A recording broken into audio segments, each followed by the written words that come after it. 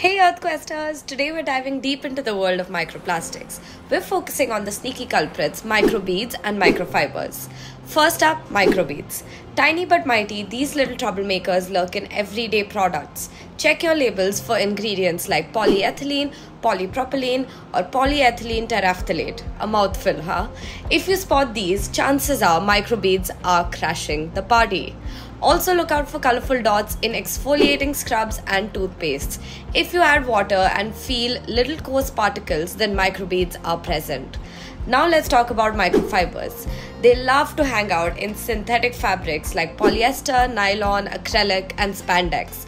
But fear not, we've got some tricks up our sleeves to spot them. Give your clothes a finger up. If it feels slightly slippery, microfibers might be saying hello. And watch closely as we gently rub this fabric against a dark cloth. Tiny colored fibers, that's a microfiber trail. But wait, there's more. Your clothes have wash care labels that spill the beans too. If it says low shedding or low piling, it's like a microfiber confession. It's in there. And there you have it a microplastic detective adventure. Remember, every small action counts. Share this reel, spread the word, and let's kick those microplastics to the curb. Drop a turtle in the comments if you're on board. In our next video, we'll be learning about the impacts of these tiny threads on our ecosystems and our lives.